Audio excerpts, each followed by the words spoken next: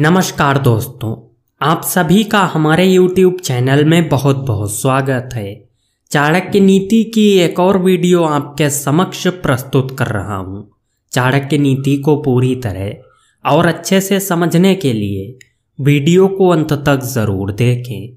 दोस्तों, महान ज्ञाता आचार्य चाणक्य ने अपनी नीति में पति पत्नी और पुत्र के ऐसे लक्षणों के बारे में बताया है जिन पर मनुष्य को सदैव ही नज़र रखनी चाहिए। अर्थात ऐसे व्यक्ति पर छिपकर नज़र रखकर उसकी परख करनी चाहिए, क्योंकि ये लोग अपने स्वभाव के कारण किसी भी अनर्थ को निमंत्रण दे सकते हैं। पराया व्यक्ति अगर विश्वासघात करे तो व्यक्ति को उतना दुख नहीं होता, लेकिन जब उसके अपने ही उसके साथ विश्वासघात करें तो मनुष्य को मृत्यु के समान कष्ट होता है। इसी कारण से व्यक्ति को आचार्य चाणक्य की इन नीतियों को ज़रूर जानना चाहिए।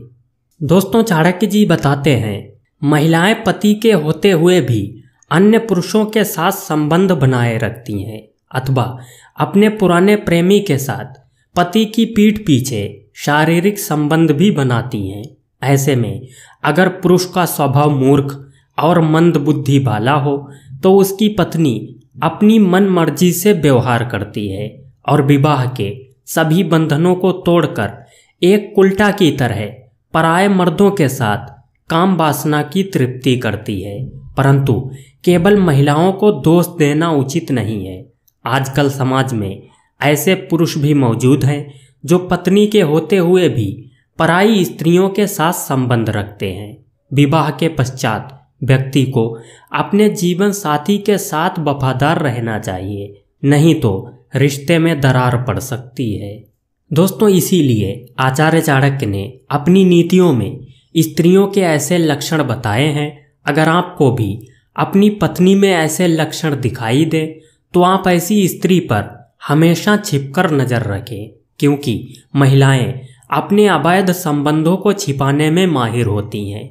वो तरह तरह की माया जानती हैं और अनेक प्रकार से अपने पति को भ्रमित करती हैं।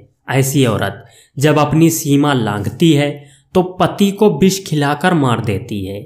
इसलिए हर व्यक्ति को अपने जीवन साथी के चाल चलन पर अवश्य ध्यान रखना चाहिए। तो आइए जानते हैं कि आचार्य चाणक्य ने किन लोगों पर छिपकर नज़र रखने के लिए कहा है। दोस्तों, चाणक्य जी कहते हैं स्त्री और पुत्र पर कभी भी भरोसा नहीं करना चाहिए, क्योंकि लालची स्त्री और लालची पुत्र कभी भी आपका साथ छोड़कर आपको नुकसान पहुँचा सकते हैं। दोस्तों, दूसरी बात में आचार्य चाणक्य कहते हैं, अगर पत्नी और पुत्र आपका विश्वास पात्र बन जाए तो उसके सामने विश्वास रखने का केवल ढोंग करें और छिपकर उसके कार्यों की निगरानी करते रहें। अर्थात वो आपकी पीठ पीछे, आपके विषय में क्या सोचता है, उसका हमेशा ध्यान रखें। आँखें मूंद कर, किसी पर भी विश्वास करना कभी भी उचित नहीं होता।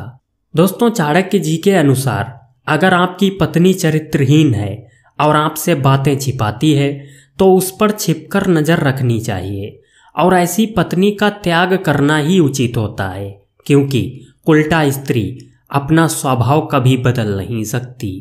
दोस्तों, आज का वीडियो बस यहीं तक। हम आशा करते हैं आपको वीडियो पसंद आया होगा।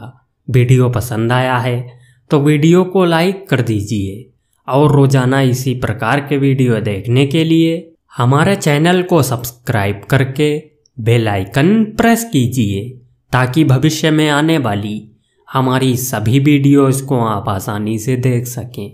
मैं मिलता हूँ आपसे एक ऐसी ही इंटरेस्टिंग इन्फॉर्मेटिव वीडियो के साथ तब तक के लिए जय हिंद जय भारत।